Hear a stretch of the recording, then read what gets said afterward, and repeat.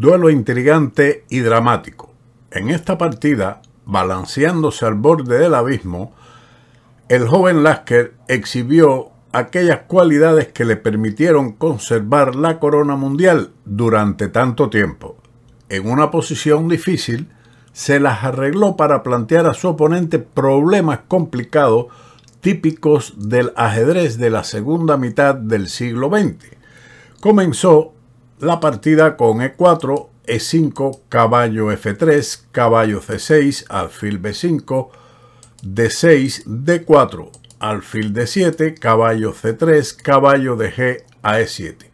Defensa clásica Steinitz contra la apertura española. Lasker jugó alfil E3. Anteriormente, Lasker había jugado alfil C4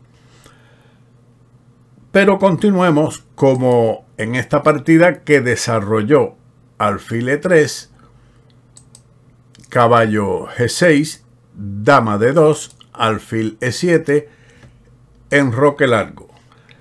También es posible el enroque corto, enroque de las negras y torre a d1, que es una continuación más tranquila e igual, diferente al enroque largo que le brinda a las blancas una ventaja. Después de A6 continúa el blanco con alfil E2 y E por D4. Si en este momento se juega, por ejemplo, el enroque, que es una jugada característica, entonces seguiría D por E5, que es desagradable para el negro. Por ejemplo, caballo de G por E5, caballo por E5, caballo por E5 y F4 con iniciativa de las blancas. Quienes ahora se enfrentan a esta jugada que elimina la tensión central y juegan caballo por D4, caballo por D4 y dama por D4. Con esta captura no se permite el cambio de alfiles que podía surgir después de la jugada alfil por D4, donde se juega el negro alfil G5. Aunque esto es un comentario de Zack. Es cierto que después de alfil E3, alfil por E3, dama por E3, deja las blancas con una ligera ventaja. Más bien clara según el medidor de análisis que tenemos expuesto en el tablero. Pero continuemos con dama por D4, alfil F6, dama D2, alfil C6, presionando sobre el peón de E4.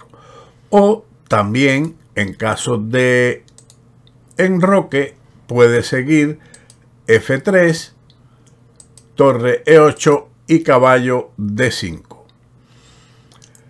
En la partida Steini decidió alfil C6, caballo D5. La preparatoria jugada rey B1 también era posible, pero sigamos con caballo D5, enroque. Las blancas apenas han obtenido una partida un poco más libre en la apertura, pero de repente Lasker altera bruscamente el equilibrio posicional jugando G4. Un movimiento dudoso que mantiene en realidad cierta ventaja, pero recuerde que los peones no se pueden mover hacia atrás. Eso indica que las casillas que deja débiles no se pueden cubrir con dicho peón. Es difícil decir si este movimiento agresivo se hizo con el deseo de desestabilizar a su tenaz oponente o si implicó algún descuido por parte de Lasker. Mi opinión es que esta última parte no me la creo. Parece lógico jugar en lugar de ese avance, defender el centro con F3 según Lasker. También se ha recomendado G3, torre E8, alfil F3 y posteriormente el avance del peón a H4 y H5. O de lo contrario también la captura del alfil de F6 con caballo por F6, jaque, dama por F6, F3, alfil B5, C4, alfil A4, torre D a E1 con una ventaja de las blancas gracias a su pareja de alfiles y mejor eh, o mayor espacio en el centro del tablero. Continuando con este avance agresivo del Asker, Steiny jugó torre E8 que les garantiza una posición rayando la igualdad. G5. Después de la jugada defensora del centro F3, podría seguir alfil por D5, dama por D5, alfil E5. El control de la casilla F4 por parte de las negras le habría dado una buena partida. Si por ejemplo el blanco juega directamente la captura caballo por F6 jaque, dama por F6 y ahora F3, podría haber seguido en esta oportunidad dama E6, atacando con la dama el peón de A2. Las blancas juegan C4 o la profiláctica o segura rey B1 sería respondido con D5. Pero no obstante, en esta posición, las blancas con el avance H4 típico patrón que hemos conocido cuando hay un caballo en G6 nos permite avanzar y ganar espacio en el tablero. Después de la jugada C4, B5 con excelente perspectiva según Neistat. Pero aquí sencillamente da como igualdad, lo que en realidad no es malo para las negras. Continuando la partida con G5, alfil por D5, dama por D5. Aquí en esta posición podrían existir otras alternativas o existen de hecho otras alternativas. Por ejemplo, es dudosa la captura G por F6 debido al fil por E4, F3, alfil F5, alfil D4, C5, que garantiza a las negras cierta ventaja. Veamos una continuación. Alfil C3, D5, dama por D5, caballo F4, dama por F5, caballo por E2 jaque, rey B1, caballo por C3 jaque, B por C3, dama B6 jaque, rey A1, G6, dama F4 y después de torre E6 la ventaja de las negras es muy amplia. Mientras que después de E por D5 seguiría torre por E3, F por E3. O de lo contrario, la captura del alfil G por F6, pero el negro responde con torre E5, F por G7 y dama F6 manteniendo ventaja. La próxima jugada de las negras podría ser el traslado de la torre a E8, obteniendo un fuerte dominio de la columna central. Además de la casilla F4, que es un puesto muy importante para esta pieza, el caballo. Por lo tanto, F por E3 y ahora alfil G5 seguido de dama e7 y las negras tienen una compensación notable por el peón. Los inconvenientes de g4 se sienten en esta posición, que está algo más cómodo de jugar para las negras. Seguimos entonces con el encuentro. Dama por D5, torre E5 y la retirada dama D2. Considerada de valor dudoso. mucho mejor era la captura dama por b7, que la consideran como buena. Alfil por g5, alfil por g5, torre por g5 y torre h g1. Aunque después de la jugada del traslado de la torre a c5, las negras tienen una partida fácil con la idea de continuar a 5, torre b8 y luego un ataque a los peones del flanco del rey por medio de dama h4 o un ataque al rey a lo largo de la columna B y la columna C. La casilla F4 es un buen puesto también para el caballo. Continuando con el juego, la retirada dama de 2 ahora siguió alfil por G5. Posiblemente Lasker esperaba en este momento la captura con la torre. Torre por G5, F4, torre G2 y dama E1, ya que la torre negra está fuera de juego. Sin embargo, la jugada de Steiny es mucho más fuerte.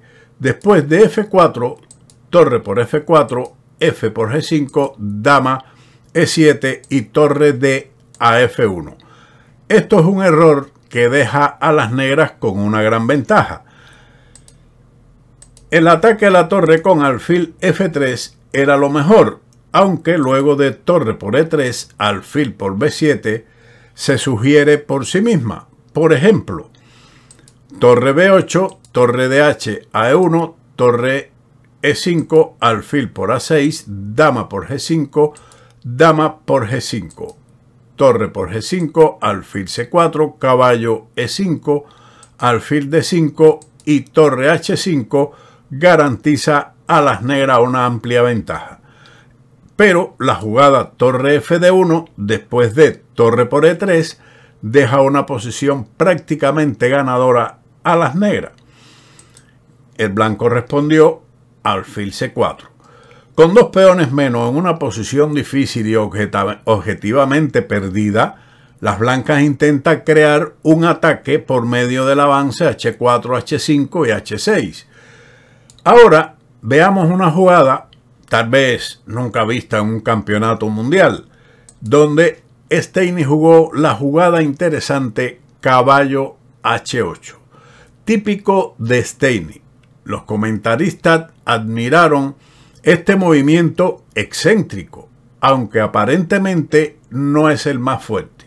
Sin embargo, la continuación torre F8 era lo más lógico y si se produce el avance H4, continuaría torre E4, H5, torre por C4, H por G6, H por G6, rey B1 y torre E4 que en realidad tampoco traería mucha alegría al blanco. Caballo H8, H4, C6 y G6.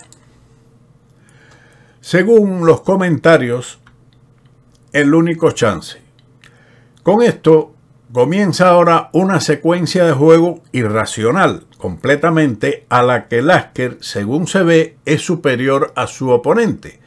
El problema de esta posición es que en casi todas las variantes las negras están cerca de ganar, pero en todas partes las blancas conservan algunas oportunidades. Evaluar dónde hay más y dónde hay menos no es fácil, comenta Kasparov y durante más de una docena de jugadas, Steiny se ve obligado a resolver un problema bastante delicado. ¿Cómo no perder su ventaja decisiva? Desesperado hubiera sido, por ejemplo, torre de FG1.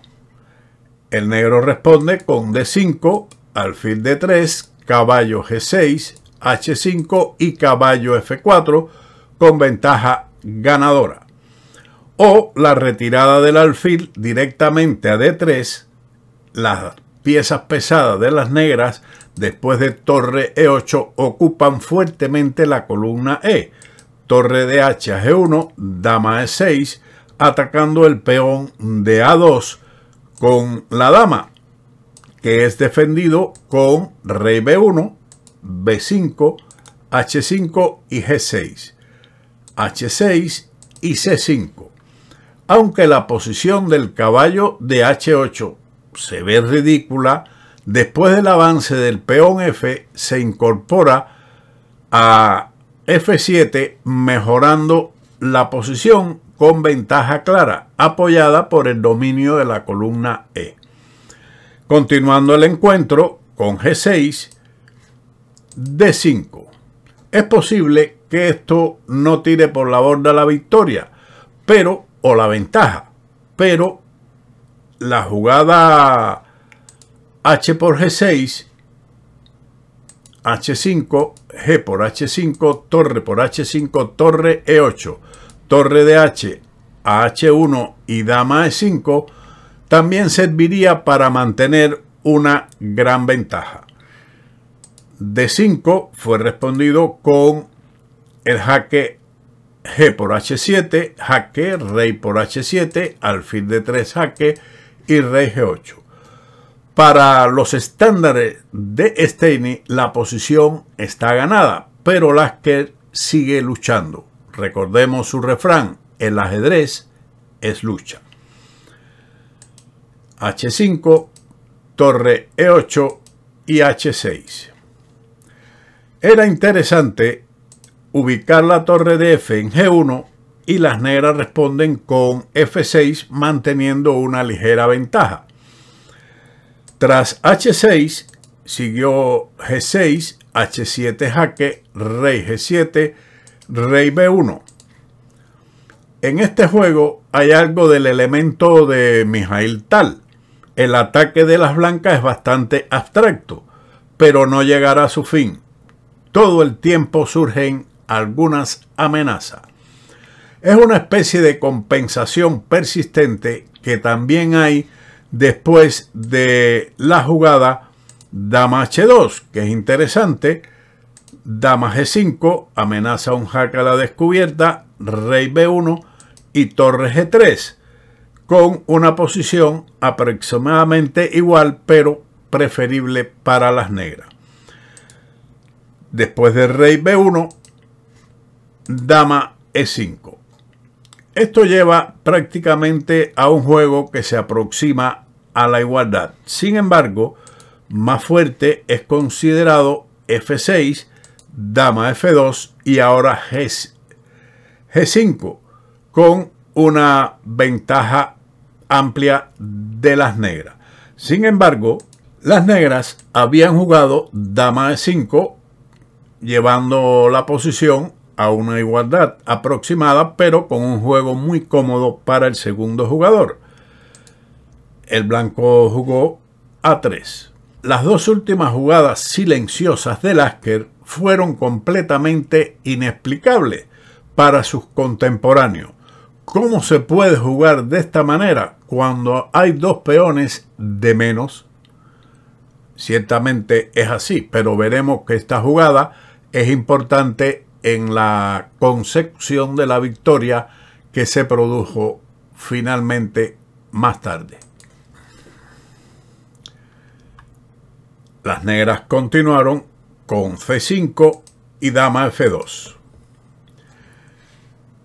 Se considera un error el avance C3 debido al avance D4, C4 y ahora torre F8 seguido del avance del peón a F5, así como la retirada del alfil a E2 es respondido con C4, alfil F3 y D4. En realidad, ambas continuaciones fallan al blanco, en lugar de lo jugado en la partida dama F2 que mantiene un juego equilibrado. C4, dama H4. Pero no la jugada alfil por G6 considerada como un error debido a F por G6, dama H4 y ahora caballo F7 defiende la posición perfectamente. Dama H4 es contestado con el avance F6. Según Chigorin, aquí el retroceso del rey a F8 era completamente seguro evitando debilitar la casilla G6. Pero incluso aquí, después de la jugada alfil F5, que es buena, las negras no deben capturar el alfil con G por F5. Sin embargo, continuando con el avance del peón a C3, alfil de 7 y torre E7, la lucha estaba igualada. Podía pasar en esta posición cualquier cosa. Al más mínimo error, cualquiera podía resbalar y caer. Pero un equilibrio en la posición. Como decíamos, la aceptación del alfil conduce a la línea torre de H1, el peón de H7 ahora es muy peligroso, F6, torre G8 jaque, rey E7, torre de F a G1, torre E4, torre por E8 jaque, rey por E8, torre G8 jaque, rey D7 y ahora dama F2 deja al blanco con una ventaja clara prácticamente ganadora. Ahora en esta posición podemos ver la intuición de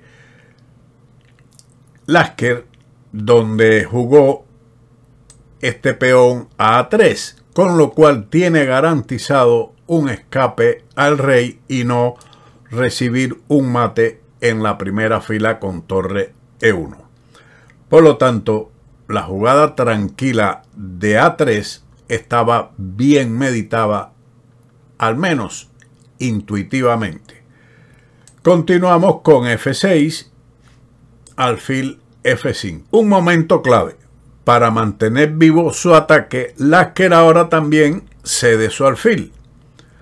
Sintió tal vez sutilmente que Rey Negro fuera de lugar y el caballo dormido en H8 le prometerían a las blancas una excelente compensación, después de G por F5, torre HG1, rey F7, dama H5, rey E7 y torre por F5.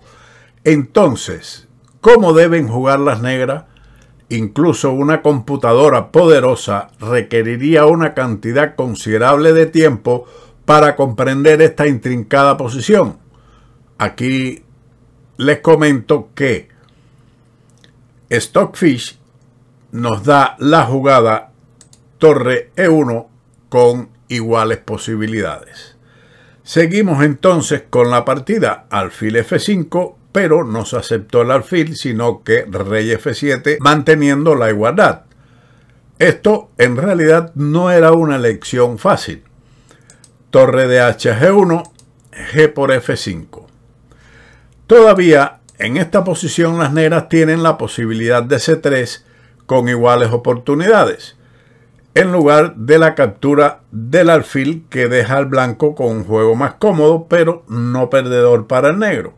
Blanco continuó con dama H5 jaque, rey E7 y torre G8. Es interesante la continuación. Torre por F5 a lo que seguiría torre E1 jaque, rey A2. El movimiento salvador de Lasker con A3. Torre por G1, torre por E5, F por E5, dama por E5 jaque, rey F7, dama por D5 jaque y torre E6, con un final poco habitual donde las posibilidades están equilibradas. Seguimos con torre G8 y ahora rey de 6. Pero esto realmente parecería ser un error. Sin embargo, con esto no se pierde, la posición está igualada.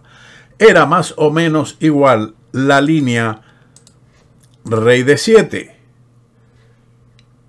torre por F5, dama de 6, torre por D5 y rey C6, con un juego poco claro sin embargo, solo un análisis exhaustivo de la máquina nos lleva a concluir que el juego está igualado.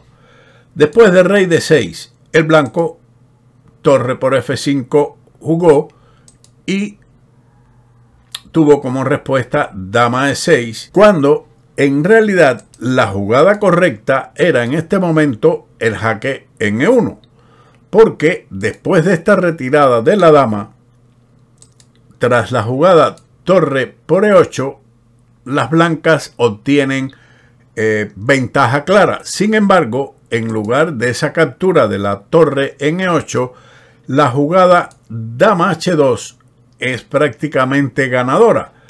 Rey de 7, torre por E8 y ahora dama por E8. En esta posición, capturar con el rey hubiera sido peor. Dama por E8 sigue torre por D5 con ventaja ganadora de las blancas. Después de torre por E8, dama por E8, torre por F6 con ventaja ya aplastante prácticamente del blanco. El negro respondió con rey C5. La alternativa de retroceso con el rey a C7 es respondido con dama por D5, que también es muy desagradable.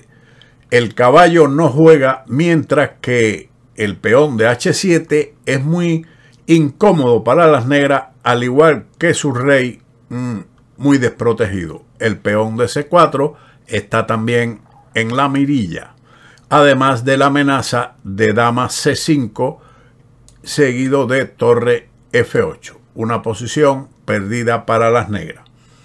Seguimos con rey C5, dama H6 y torre E7. Un error en una posición difícil. Qué difícil fue para Steiny defenderse en esta situación. Más tarde, Chigorin recomendó la defensa dama e7, pero después de torre f8, no, comenta ahora Kasparov, no pude encontrar tablas para las negras, aunque esta posición estuvo en mi computadora durante mucho tiempo. Torre e6. A todas luces, el ataque de las blancas es irresistible. Por ejemplo, si en lugar de esa retirada Sigue torre E1, rey A2, la jugada salvadora de A3. Torre E6 y dama D2. La misma maniobra clave, dama por H7, torre C8 jaque, torre C6, dama B4, rey D4 y torre por H8 con ventaja ganadora. Después de torre E6, dama D2, la maniobra importante, una maniobra muy importante. Dama por H7, sigue como anteriormente vimos, torre C8, torre C6, dama B4 jaque, rey D4 y torre por H8, película que ya habíamos visto en el comentario anterior. La continuación torre E2 no habría salvado a las negras.